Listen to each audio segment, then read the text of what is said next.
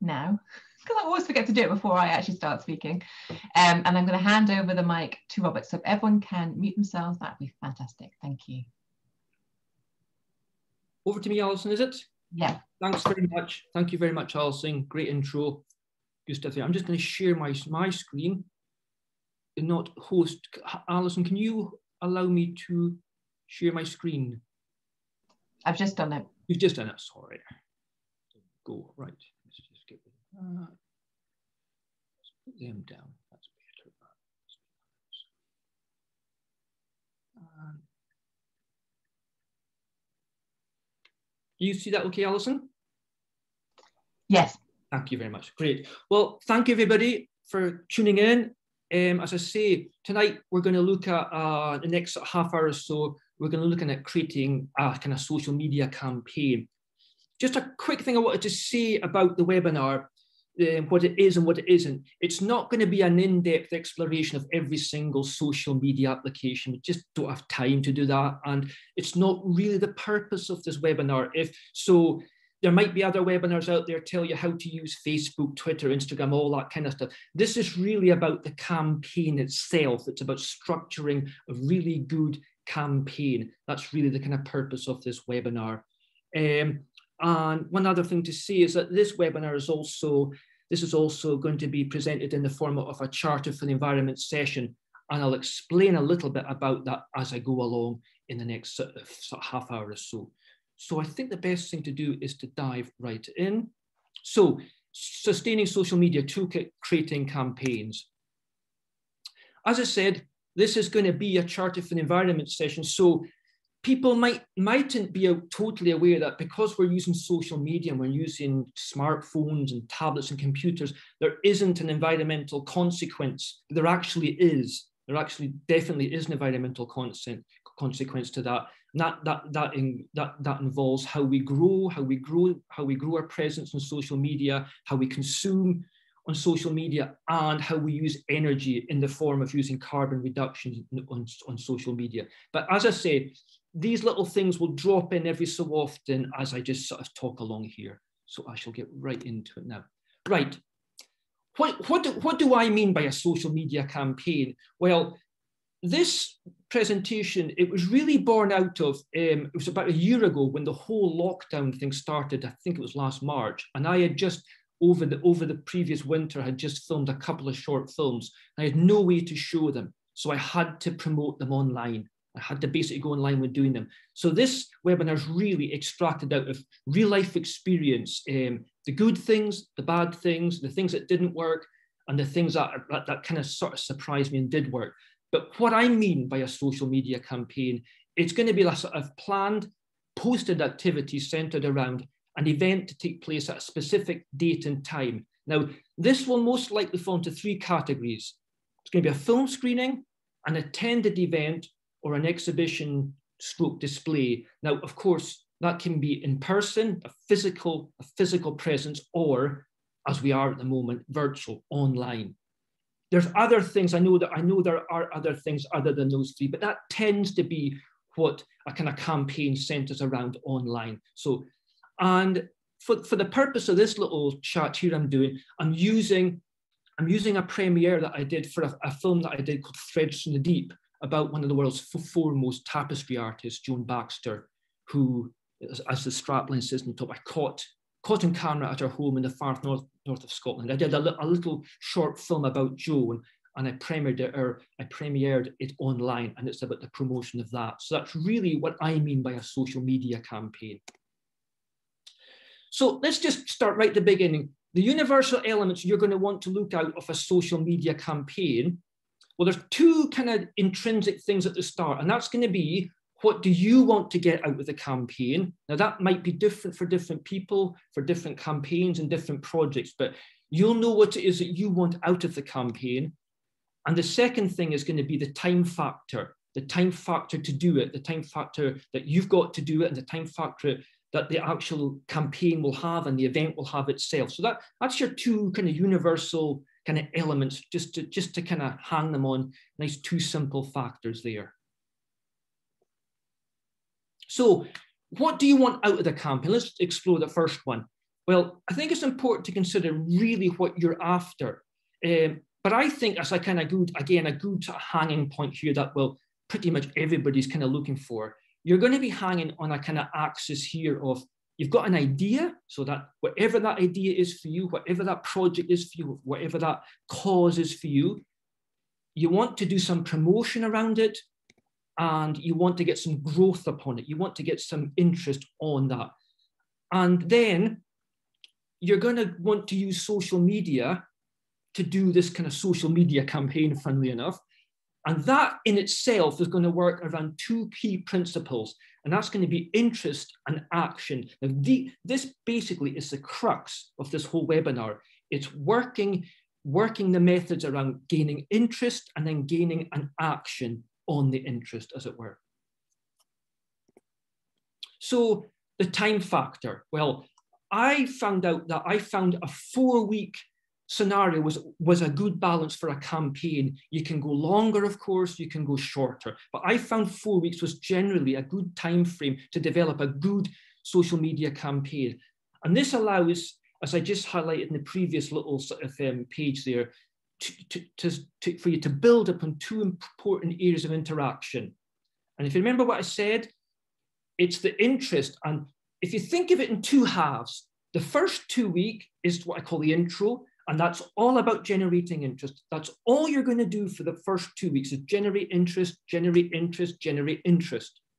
And then you've got the campaign itself, the, the actual event itself, what it is that's going to happen itself.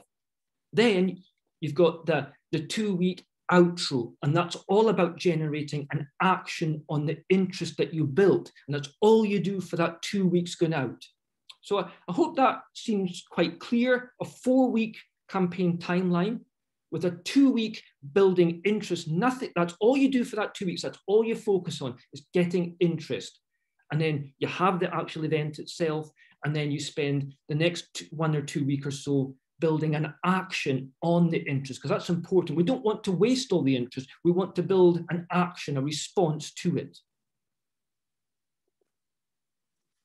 Okay, narrative storytelling works best. Now, this is where this is where I think it's probably the most misunderstood element of what works well in a post and what works well in a campaign. And I'll come on in a minute what narrative is, but this is where I think we need to start thinking beyond standard post information now. If you look at, at the top left there, just up here, this is your standard stuff. You know, if you go on the internet and it says what to do in that post. Well, you know, don't put too much tech, don't don't have multiple links, don't beg for likes or shares, don't beg. Um, too many posts in a day, links to external links that visit external sites. Basically, that means links that take you off the social media platform itself. Now, these are all valid, but to me, there's something far, far, far more fundamental. And I've called that down here the hard truth. Now, what I'm going to see here, it, it's not a personal thing, and it's it's it's not a it's not an indictment upon anybody. It's something I learned, and what I found was the detail of what I had to say when I was trying to show the film. It was it was of great interest to me. It was of great interest to those around me. But the, the general truth was to everybody out there who's just flicking through their news feeds and their and their pages, it's not that big a deal. And I and I, and there you go. Buster Keaton looks a bit affronted there. How dare you not be interested in my project?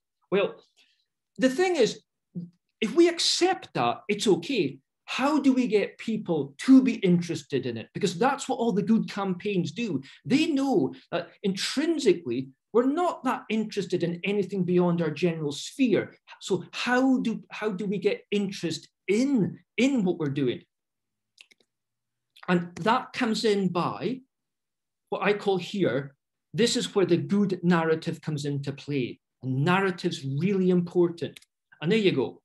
Buster Keaton's looking a lot happier because we're now going to show, and he's going to help us show how narrative comes into play. By the way, the reason I've got a picture of Buster Keaton in there is because he is one of the best exponents ever to be in film that, that uses narrative. Remember, this is an age of silent cinema. He doesn't really use facial expressions that much, even though he does have a facial expression, but he is one of the best exponents at narrative storytelling. And That's what that's really, really what this webinar is about, narrative storytelling. Right, so narrative, it's a very kind of elusive kind of word. If I if you just flip into a dictionary, you go online, you get this thing here, a spoken or written account of, of connected events, a story. Well, it's fine, but it's not enough. And like, like Oliver Twist here, it, it's not going to nourish me, and I, and I don't think it nourishes you. We, we need a better explanation than this. So here we go. This is, this is a quote that I used from about oh, a year back when I had another presentation about I was delivering a film and, and looking at why certain films connect with us better than others. And what I found was See, an effective narrative for me has always delivered a deeper message that's going to connect us with the plight of people, how we, how we treat each other, and this basically planet we all live on, we all share. And as such, I see narrative to be more akin to illuminating on basically the condition of being a human being. I'm wanting, I'm wanting the, the spark, I'm wanting the lightning to come down and hit my head and the hairs in the back of my neck to come. That's what I'm looking for when I mean narrative. That's what I'm looking for. I'm looking for that, that sort of thing that, that, that, that, that resonates with me. It affects me. I'm looking for something to really affect me. And, and there's Robert Burns there. And again, the reason I've used Robert Burns, he's another fantastic exponent at narrative communication. If you think of some of his, his some of his poetry, some of his writing, Auld Lang Syne, it's sung. I, I mean, I've been lucky enough to go to a lot of places in the globe, and it's recognized everywhere. And I mean everywhere. Everybody knows Auld Lang Syne. Why? Because it illuminates on the human condition. We're all the same. We're all in it together, unlike some other in it together campaigns out there we're, all, we're all in this globe as a human being together. But one of the best places to find narratives and one of the easiest to get a handle on it, and I want to spend a little bit of time to explore this, is in myths, legends, and folk tales. Okay, what exactly is narrative? Now, we've all heard of Little Red Riding Hood. I know you've all heard of it. But here's basically, again, from another presentation, here's three scenarios when Little Red Riding Hood appeared in, in, uh, in popular and in folklore culture. The first was basically a thousand years ago in Italy, and it was a story told by the local peasants. But the, the narrative that was coming out of it at that time was this it was werewolf trials led to religious superstitions by the populace. The narrative here was incredible religious superstitions. That's the narrative out of Little Red Riding Hood from that era. If we roll on a few centuries, we've got Little Red Riding Hood appear 17th, 19th century. And basically, this is the version that we all know today, really, really kind of made popular by the Brothers Grimm, and I think illustrated by, the, by Charles Perrault. And it was, this is the guys we know it today. But there's a different narrative was coming out of this version of Little Red Riding Hood. Here, it was, it was really was about young women avoiding the advances of young men in society. But at this point, popular society was quite a thing. And for well-to-do people, you didn't want your you didn't want your pretty young daughters going out meeting any old Tom, Dick, and Harry. So a level of control was starting to come out. So the narrative had shifted here. It really had shifted. And now if, if I roll Little Red Riding Hood right up to date, late 20th century, it's basically by um, a, a, writer called Angela Carter, who I've not read any of these, but apparently they're very popular series of books. Um, so sort of, um, and they're set in a fantasy country. And I, I think one of the books is called Werewolf and a Company of Wolves. But the narrative has moved on again. And here, the narrative is to do with corrupting aspects of marriage, female identity, and power struggle within relationships. Now, the reason I'm showing this is not to highlight Little Red Riding Hood, but look how the narrative has evolved and changed and different aspects have come out of each era. But also look how the narrative, it's very, it's very across the globe. This, this is, some of this narrative would apply across the globe here. Very, it's a very good narrative. It's very easy to get a hold of. And that's what we're trying to do with our campaigns. We're trying to extract a narrative from the story and from the detail. And that narrative, that's what's going to get people hooked into your, into your campaigns and your projects. So we're looking at about arranging some posts for platforms here. So basically, once you've kind of structured your campaign, once you've worked out your narratives and you'll know you'll know what they are for your particular project and campaigns and, and your thing, you, you, you'll know what the good narratives are. You're ready to target the social media platforms. And of course, this is going to be a mix of well-known applications. And some are going to form better than others. So it's going to be images, of course, clips, movies, we've got blogs, we've got GIFs, infographics, visual quotes. If you don't know what any of these are, then, then um, we don't have time just now, I'm afraid, to go into them, but, but do spend a little bit of time in your own time and just look them up and find out what they are and see if they're useful to you. But this is where we come on to one of our sort of charter for the, for the environment here. And I'm a great believer in um, organic growth when it comes to social media. And this is where it's going to be, it, it's, I found it's going to serve you so much better than trying to get thousands and thousands of likes and followers and hits and stuff like that. Okay, it's great. If you've got that, that's fine. But setting out just to get that, it's, it's going to be a bit misleading and because you mightn't get the reaction you want. And you're far better to have your, to have your growth on campaigns and social media grow organically. You're far better to grow. You're far better to get a few dozen people involved and, and have them really, really involved with your project than having it than having a couple of thousand that don't really care that much. So it's organic growth. That's what we're going for here. Okay. If, if you don't recognize this guy, he's I'll show him a vintage here. This is a guy called Max Headroom. And he's looking a little bit glum because what he's realizing is that there's, there's quite a lot of social media apps. But the point I want to make now is, and I'm not going to spend a lot of time going through these apps because, like I said, this that's not really the point of this webinar. It's more about the campaign. But be discerning. You don't need to use every single app. When I did the, the premiere for my film, I think I used two, just two and because I just thought, I just looked at the ages, age groups, some demographic stuff, and I just thought that's going to serve me best. And also the time factor as well. So a couple of quick little things here about sort of some of these things. Well, Facebook videos now are having a lot more engagement than all other content. So that's interesting to see that from, you know, from some of the stats that it's 60% more engagement than all other content. Blog summaries are also very good. That's not pasting whole blogs, but little blog summaries, very, very good, almost little micro stories. And a thing here which we call curated content is just a fancy way of saying sharing content from other pages. If you're struggling to if you're struggling to sort of create some content, then put in some content on your site from other pages that's relevant. Twitter, of course, it's all about microblogs with images and videos. But that's an interesting one about, about the user demographic, that 65, 65% of users are between 35 and 65. Um, that's why I went for Facebook and Twitter, because I was aiming at a particular demographic as a, gen, as a generality. Of course, I was looking at younger people and much older, but as, as a generality for my campaign, that's what I aimed at. And YouTube is obviously video, but I even I was surprised to see this. It's the second largest search engine after Google, and that's because of people searching for video content. And I believe we've got another little chart of my a little chart of the environment here. And I think as we're talking about posting stuff here, I think we also need to be a little bit mindful about what others are consuming. And of course, that means what we consume as well. Because, I mean, let's face it, the web and social media is just littered with content. I mean, if this was a street, it would be a it would be a mile high litter.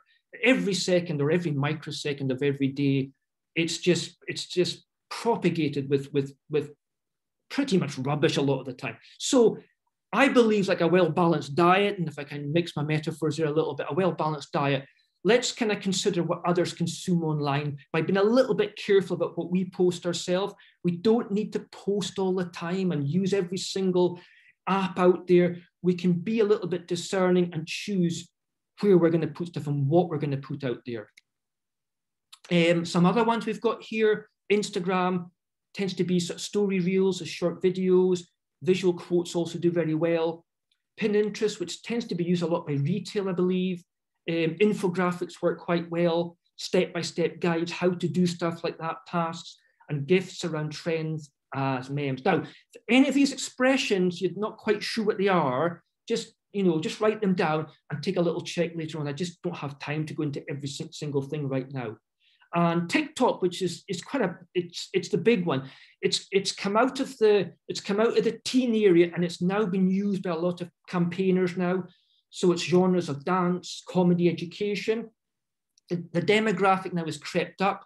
You've almost got a third who are 20 to 29 year olds. And it does drop off a little as you get a bit older, but it's interesting. The demographic was basically sort of, you know, teens. Now it's moving up. So good platform if you're aiming at sort of young adults. And although Eventbrite strictly isn't social media, I think because of the pandemic and because of because of the situation we're in, it has become an incredible platform for searching for events online because we can't go to stuff. So Eventbrite has become an incredible tool now.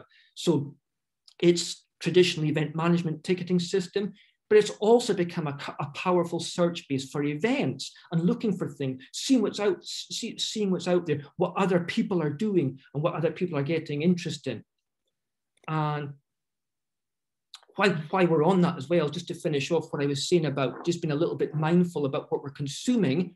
Um, I think campaigns, we've got, I, I want to differentiate making a social media campaigns different to your private posting, like, like stuff you just do in your own pages. Um, over posting doesn't actually help you. I mean, I just want to make that quite clear. When you're doing campaigns, it's about a focused intent. It's not about, like I say, it's just sticking stuff all the time, multiple times a day. And actually, the evidence is there now to say over posting does harm to what you're doing.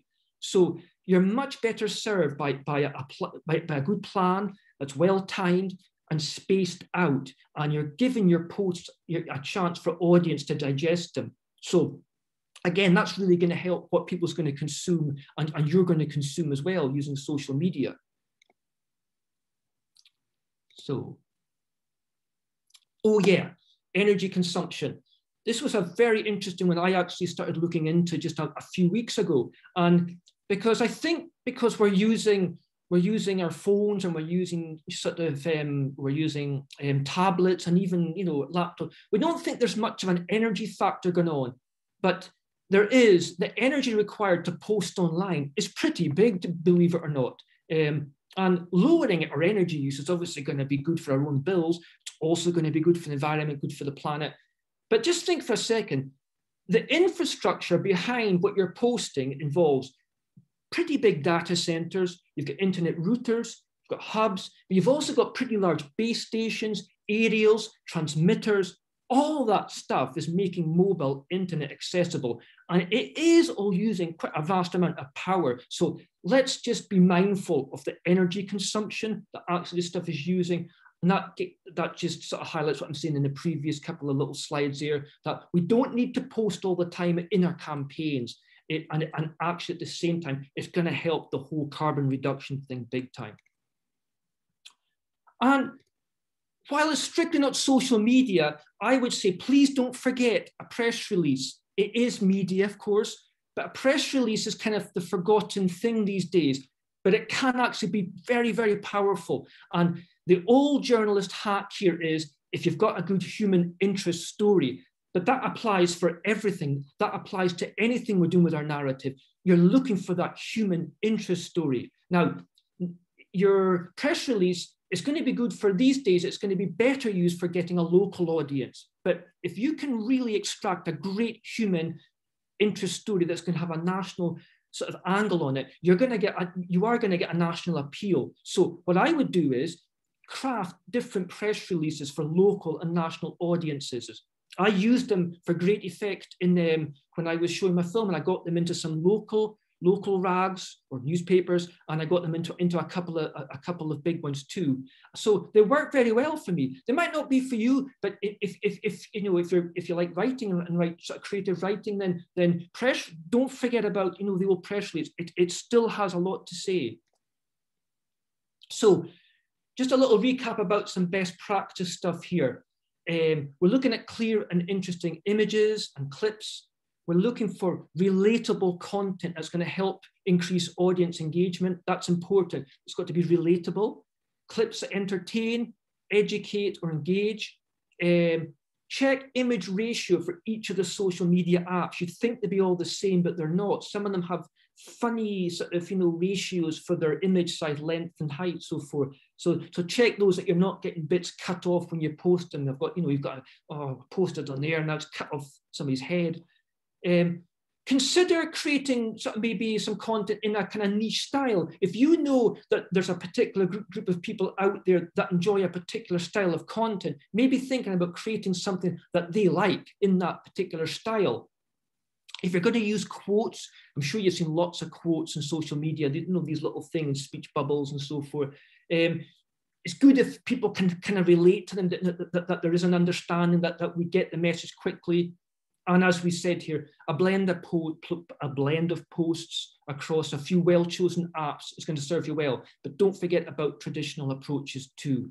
And while we're at it in terms of the environmental side, please, I would encourage you also, um, we don't need to produce files that are that excessively large because remember, you know, smartphones now and stuff, and, and even when it comes to taking video, they're taking some of these camera phones can take 4K video. You'll have, you know, a high definition images. They're going to be big images. And if you're just posting them on the internet, that's taking more power to display. So consider reducing the file size if you can.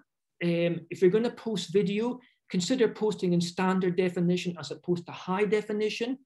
Um, you just have your smartphone in your hand and watch a clip in high definition, and after a minute or two, feel how hot your phone gets. That's the energy that's been used in the battery. And so think, so you're going to have to charge your phone more often. You're going to have to charge your phone more often. You're going to have to draw off the grid more often. A lot of that is going to be using carbon. So if you can, down down export, down share your content into a manageable size, and then then share it. Um, keep your clip keep your clips quite short. Um, and the evidence there is, is also says that once you get into three, four minutes plus, the engagement really drops down dramatically. So, you know, one, two minutes for, for promotional clips is absolutely perfect.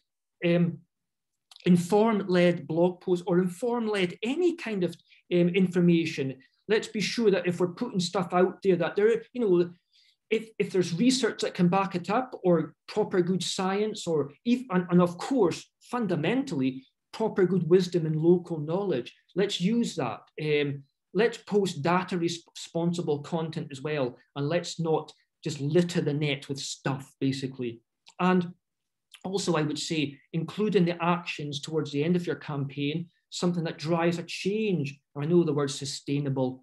It's a bit it's been used a lot, but but I mean, if you think of it, your average Facebook post is uh, it's got a shelf life of six hours, and I believe your average tweet on Twitter has a 20 minute shelf life. But I believe I believe we can counter those, and, I, and I've done that uh, with the campaign I did for the film. I I had just sharing two or three posts a week and i was getting i was getting engagement for two or three weeks with some of those posts so we can counter some of that evidence let, let, let, let's do sustainable posts if, if, if that makes sense to you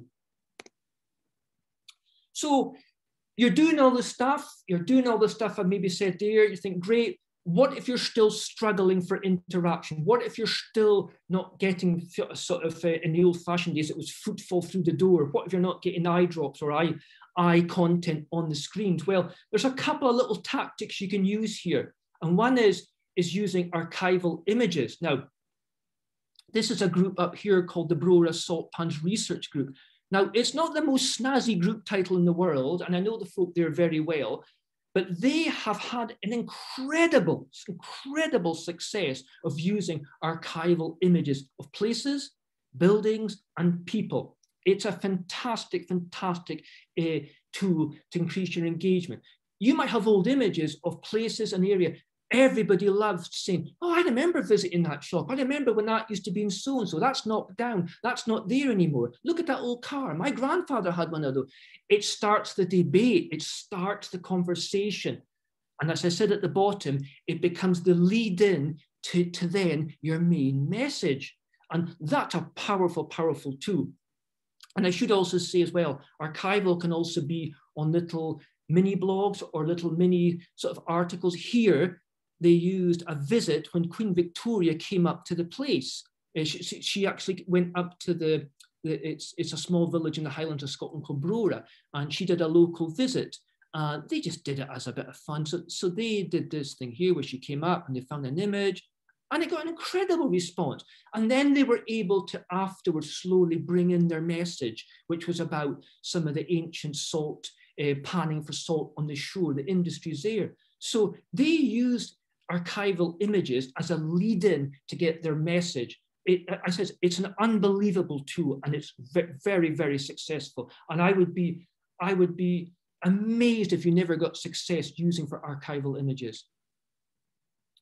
There's another thing we can also do here, and that's connect to similar activities already happening in the world. Now, this topic that I had was about a tapestry artist. So what I did was I basically logged in to all the tapestry sites in a lot of the a lot of the social media, and I shared the content there. And this is where I will say, if you're gonna connect to other sites in the world, please be sure it's relevant. And if you're unsure, do ask permission. Don't just drop stuff onto other people's pages willy nilly. People can get a little bit miffed off if it's not relevant and you can get blocked or barred.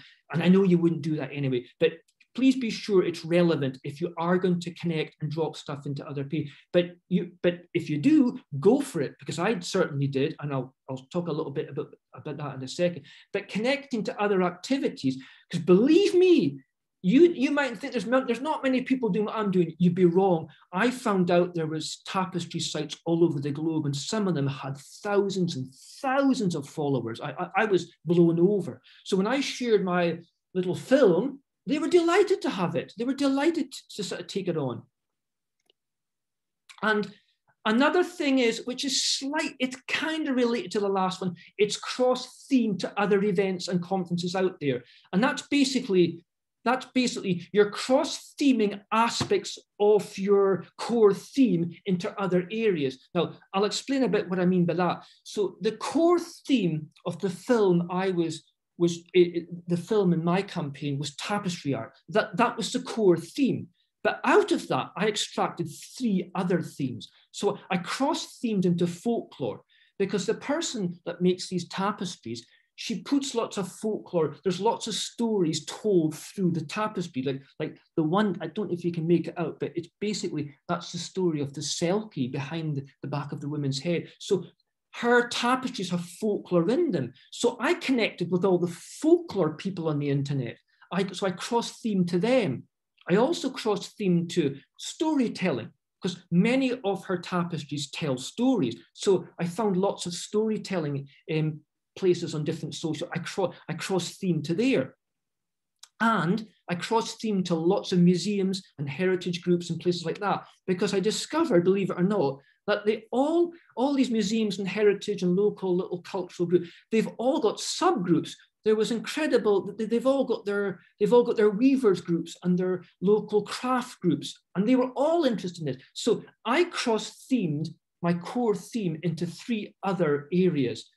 But again, I would say think about it, make sure it's well thought out, and make sure if you're going to connect that it, it, it, it really does have a relevant theme. It really does. There is something there. And remember, you might need to extract a little different story. So when you're when you're when you're cross-theming, you're just got a little lead in. So you might start off, instead of starting off with tapestry, I started off with folklore, then I brought in the weave the tapestry. Here, I started off telling some of the stories about her tapestry. Then I, I brought it into the film and so on. So that's a nice little tactic you could try.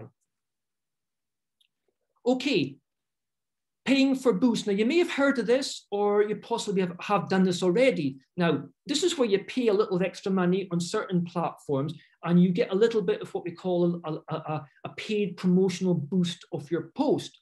But what we don't want, we don't want, like the kids here, we don't want you throwing good money after bad. That's what we, we certainly don't want that. And it's very easy to get carried away and do it.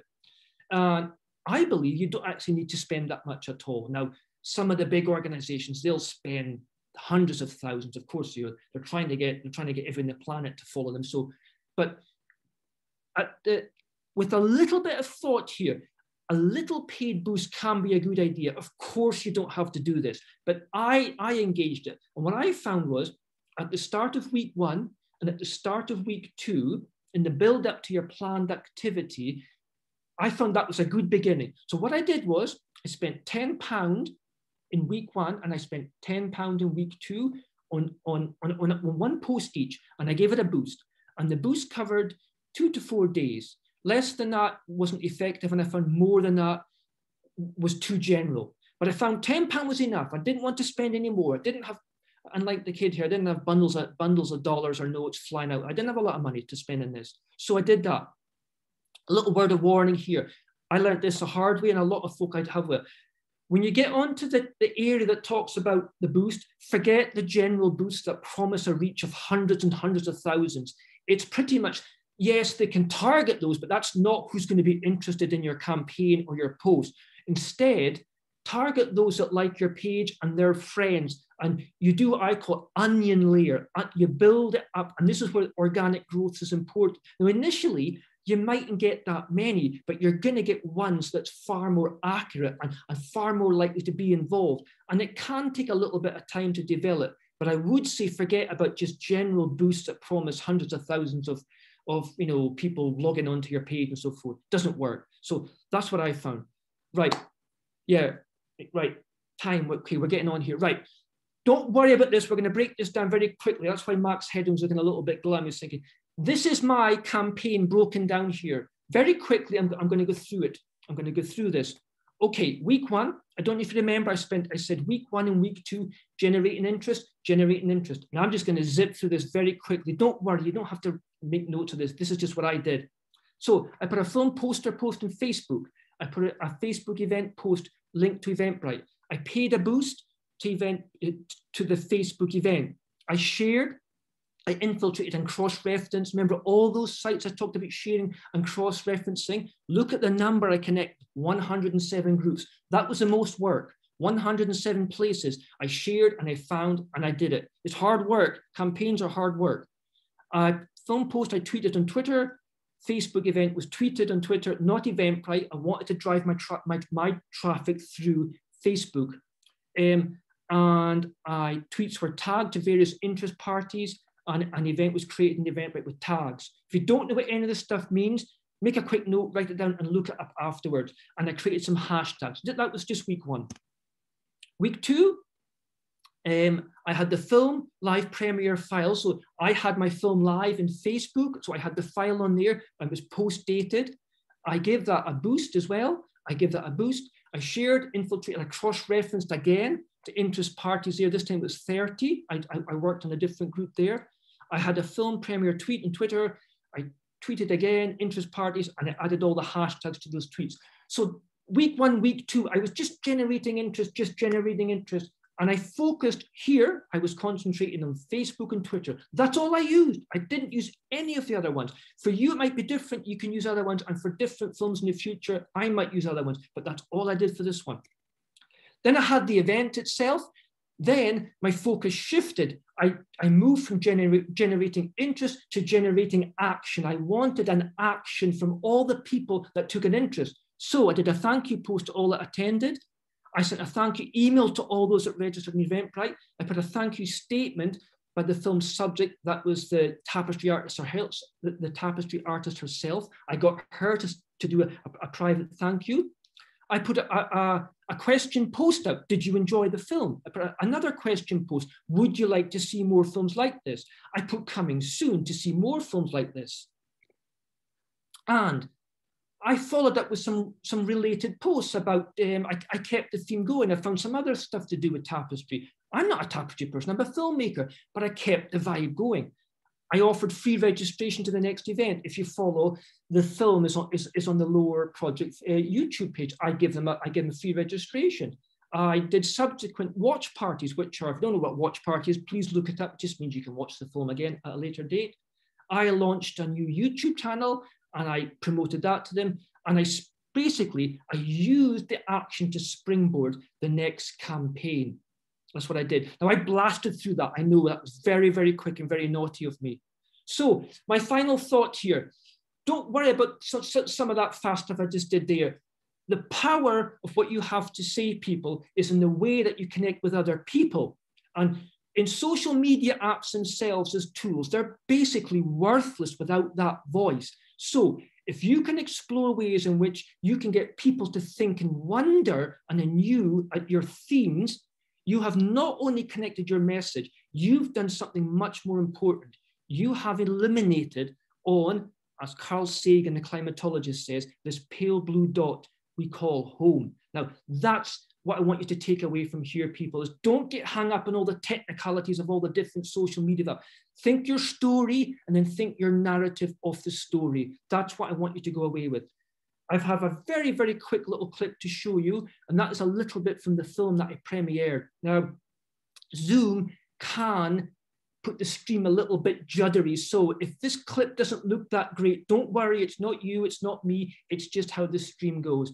But thank you so much. I will do my best to answer questions at the very end. But just, just again, please note, I, I can't really get into social media apps in a kind of in-depth way. It would just take too long and it would spoil other people's questions. So thanks again. I shall leave you with this little clip of Threads from the Deep and I'll do my best to do your questions after. Some of my pieces I have left the warps, which are the sort of vertical part of the structure and they're also the skeleton, even though you cover them up. But quite often in my work, I leave them exposed in places just to say, right, I'm a textile here.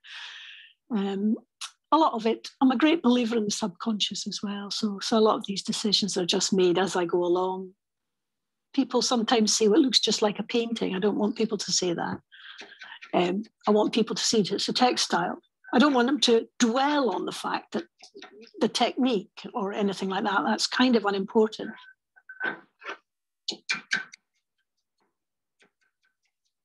Since what Penelope was doing when she was waiting for Agamemnon to come back from the wars, except she wove it during the day and undid it at night.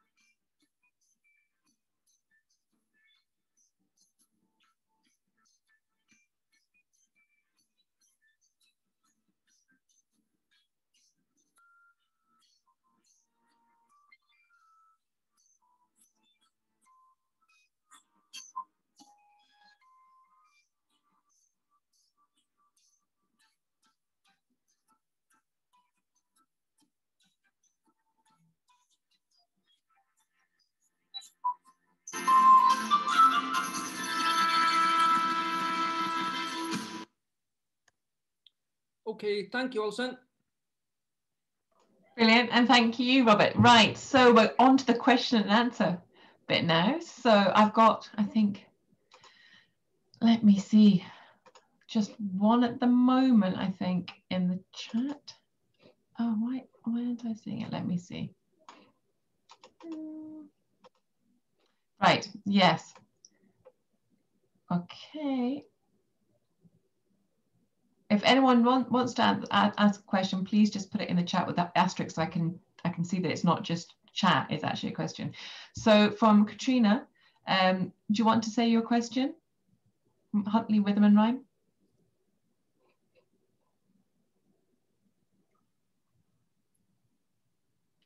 You just unmute by clicking at the bottom of the screen usually, or up at the top. Right.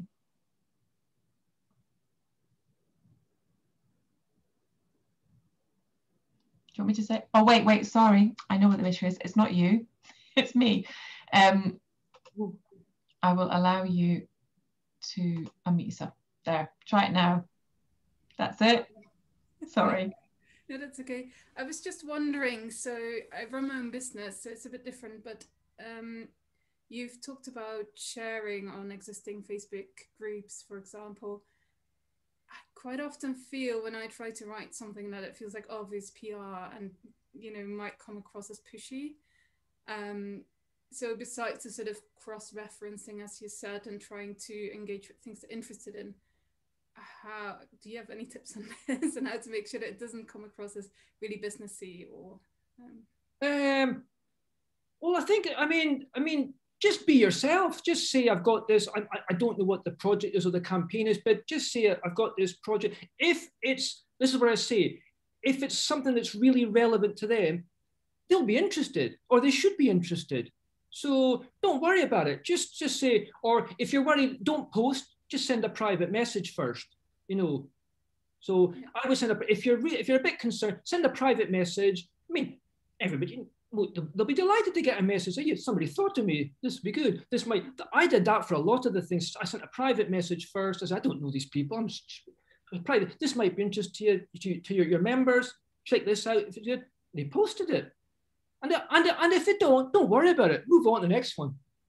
Hmm. Cool. Thank you. No, go for it. Just go for it. Yeah. good advice. It's always good advice to that. Yeah. Okay, so um, I think it's Heidi now. Oh no, Irma and then Heidi. Sorry, Irma and then Heidi. Hello, Heidi. Thank you, thank you, Robert. Uh, it was really interesting. I was just wondering. You mentioned in one of the last slides that you said, well, the the week four you kind of used as a also to generate and to have this interest that is generated for the next campaign, like to as a springboard for yes, yes, that's right. And I wondered um, whether you're just going to kind of run from campaign to campaign of, or whether you also build up following. So maybe this is also related to Susan's question on like longer, like longer uh, engagement. Um, is that created out of the campaign as well? Well, well, I don't, I don't do social media all the time. I mean, I, I make a differentiation. I use it as a tool. Now, I, I use it as a tool. I go onto it, I get what I need to do, and I get off it.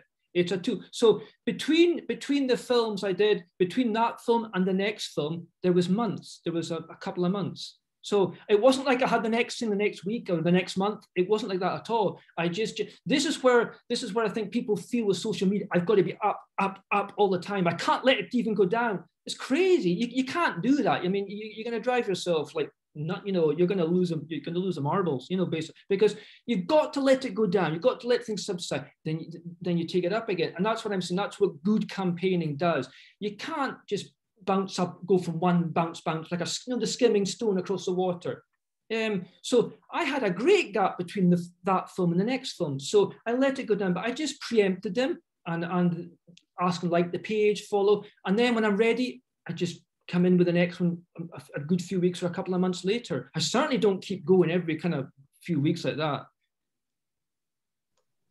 I mean, it does depend for different organisations. For instance, we, we, do post yeah. up like a lot um, to keep to keep the readership up, but that's because we want it's a different way of doing it. If you're using it as a targeted campaign for certain events, yeah. that's quite diff- different from building up your readership. Um, so it can, it's for different things. But as Robert was saying, it's about action, generating the action. So it depends on what action you want to generate yes. as well. Yeah. Um, and if you want to push people into liking your page for the next time or, or whatever. Anyway, um, yeah, sorry. No, I would just say, I, I, maybe clarify. The campaign I'm talking about it isn't something that you have every kind of few days or every week. It's maybe for something a little bit more special is the wrong word, but it's something a little bit more important that you might be doing not that often really you know something that you really want to build up to something like that. I know i do things where you want to every few weeks you're building up to something else. And that would be a sort of lower level campaign if you know what i mean you know. Yeah brilliant. Okay heidi over to you. Hi. Hello. i'm a social and environmental justice advocate from uh, the southern maine and wabanaki territory area. Fantastic. I'm wondering about uh, the how you've gotten around the whole Facebook jail thing. You know about that? Can you explain that to people? Not really. Want... Um, is, it, is it something we can discuss here? yeah, Facebook jail is when you're told that you don't, you can't post anymore because you've posted into too many groups especially when you're doing things, if you're sharing out Facebook live streams Yeah. And I find that it's hard to get a lot of action on a lot of my my different posts. So I end up having to tag people. Yeah. To get more people into in to engage with my posts and the ones that are most important to bring awareness to that. Okay, I'll put my hand up. I'll put my hand up. Okay, I've had experience of that. I've been a bit naughty as well a long time ago, over posting, trying to share stuff out. You learn the hard way. What I did was send a direct message more often. Message them. It's it's more work. It means you got to sit, and you got to open messenger, but it's more it's more personal. You're far more likely to get in, you're far more likely to get a response than just you know sharing, sharing, sharing, sharing, sharing, sharing, and then I'm in jail because I've shared three thousand times in the past hour. Send it you send a direct message if, if you can get you know send, send more direct messages that, that that's what i found and well the hit is far higher I, i've also found that if i share with more than like 15 people or 20 people at their third maybe it's more like 30 to 40 or something people yeah. at a time that mm-hmm. within mm-hmm. messenger that they can tell you that you can't use Messenger for several hours on end. So it's really yeah. tricky. Well, maybe you need to get a few other folk involved and maybe get them to share some of the burden as well, and that will save right.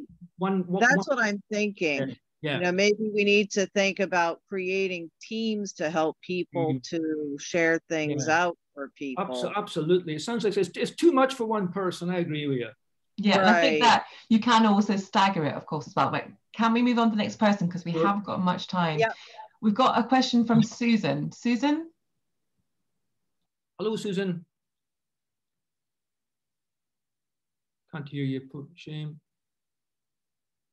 She's still muted, I think. You're still muted, Susan.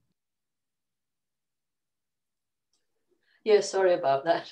Um, yeah, I was wondering, you uh, part of what you said already maybe answered my question when you yeah. talk about you have different campaigns that you allow it to subside and then it comes up again. Um, I'm thinking about uh, we're trying to keep a much longer campaign going that could be two years, three years, indeterminate length, just yeah. trying to keep people interested yeah. so that they don't forget about it. Well, what I would say, Susan, if you can imagine a wave pattern and yeah. the, crests and the trough. So think of your two-year campaign as a series of little minier ones, mm-hmm. and then let them go up and down, up and down, up and down, up and you can't keep up. You can't keep a high line for two years. It's just impossible. Well, so, what we found there are sometimes things, external things happen that will kick mm. something off. So yeah. you get a flurry of activity, and then it kind of goes yeah. quiet yeah, I would definitely break it down so so, so it's, you've got your one, two, and then and then see them as a smaller time frame, and then, and then mm. even that could be a smaller time frame. Yeah, so you have sort of little campaigns within a campaign. Absolutely, yeah. Thanks. No problem, Susan. Okay, we've got two more questions, and we'll have to finish there because we're already going over. So I've got a question from Zaria. Zaria, do you want to ask the next question? Yeah, thank you. Um, very, very interesting presentation. Thank you very much. And right, no coming from Climate Action Lewisham in London, so a long oh. way away from you guys. but, yeah. Um, we're interested, obviously, in local behavior change, and we're trying to use social media to make people really think about stuff to the extent that they change what they do. For example, go vegan is one thing we did yeah. recently. Now, this is a bigger ask than clicking on a, you know, a presence at a film oops, or, or, booking an event, obviously it's a much deeper change. I really like all the ideas around narrative and how you control narrative. I think that is, you know, you highlighted how key that is. But I'm wondering if you have any further thoughts about whether that's possible or desirable. Have you ever heard it work? Do you think I should do it? Or just use Facebook for more superficial things? I'm not sure. Well, do you remember the little thing where I had the little Red Riding Hood? Do you remember yeah. that yeah, remember the narrative that's coming out there because it's pretty gruesome themes coming out of there sometimes. And sometimes when you've got quite a subject that's pretty, you know, to, to, to other people might be a bit raw, a little bit sensitive. We've got to find another narrative, another way, another another lead in, another way in, and then you get your message. And that's why I think these things are important because um, if you've got you want to change change a mindset and change a behavior, that doesn't work. It doesn't work. You know that I've tried that wagging the. It doesn't work. It doesn't forget mm. it. it. Doesn't work. So we use other ways, other narratives. So explore story, narrative, mythology. Don't forget mythology is important. Mythology is a great thing to get people. I don't mean mythology in little, you know, wolves and stuff, but the mythology of our lives, the way we live. Very, it's very key. But narrative is important. If you, if, if I can give you one thing to take away, explore the story and the narrative and the stuff behind you, your, your message. You know, the stuff behind your message. Get that out front. I guess with like going vegan, you can you can spotlight um, some famous people have done it, and also the kind of the health, you know, the kind of yeah. daily meat intake, etc. There's lots of different ways of doing it in a kind of roundabout route. And I guess that's what you were saying, Robert, wasn't it? Yeah. Anyway, we're going on to Akil now. Akil. Hi, hi, Robert. It was it was fascinating to kind of hear about your your points around mindful posting and organic growth. Um, yeah.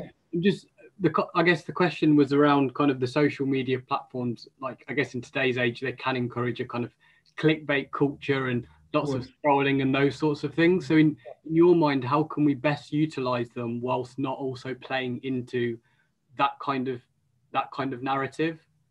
Well, the thing is, as soon as you start to do the thing that's there, you've kind of it's part of it, but you'll be quickly at the bottom. You know what I mean? As soon as you start to do something that everybody else is doing, but everybody else is doing it sort of almost not better, but there's, you know, you've got companies and organizations and they're specialists at this.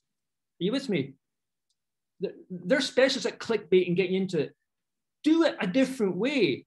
And that different way, you can you can get interest in stuff as well. It doesn't always have to be the way that, that that's something you see out there. You don't always have to just do it the, the way that that's maybe the obvious way is out there, you know. Okay, thanks a lot. That's okay. Great, and we've got, and if you want to look um, at Akil's post on the chat, he's talking about other ethical platforms that people could maybe look at. Um, and last question is from George. George? George. Hi, George. Hi, Robert. you touched on it, but maybe go a bit further. Well, One of the big problems I think we have in, in what we're trying to do is the danger of speaking to ourselves and those who are already engaged. And if you're running a campaign where you want to reach out to people who aren't necessarily terribly interested or are marginally interested, the, the ability to create a headline based on the narrative to excite people is very, very important. And I wondered if you had any suggestions about how to sort of uh, engage the interest of those who normally wouldn't be terribly interested in what you're doing. Um, the, good thing with narrative is that a good narrative, do you remember I had the slide up about the press release? Yeah The press release. now the old journalist hack statement was if you know years and years ago if the journalist came along and they said we're looking for a human human interest story now if, if you see there's no black and white film human interest now i know the words kind of lose meaning think of that every time what have i got here that's going to that's going to interest human beings across the planet what have i got here that's got an interest can I, can I come up with a few words on, on on what i'm doing here that's got an interest to human beings on this planet a human interest story yeah. Yeah. That's what I would That's do. Very, yeah. Thanks, Robert. Uh, I would just like to say a big thank you to, to Alison and her team, Aberdeen, Aberdeen Climate Action, for helping me with this today. They've done an immense power of work. So thank you, Alison. My pleasure, Robert. And we're just excited that Climate Week's coming up so soon, and we'll be doing using all of these things to, to push Climate Week Northeast, which is mostly and pretty much will be all online. So anybody from around the world can come along to the event. So check us out, um, hashtag CWNE21 um, on Eventbrite, on Facebook, on our website, and that's Climate Week Northeast, the 12th, 21st of uh, March. And we look forward to seeing you, a lot of you at the, at, at the events then. And thank you, Robert, for a great time. And thank you, all of you, for coming and sharing in this. And hopefully, we'll all have very successful social media campaigns to get people yeah. to do more on the climate. Yeah.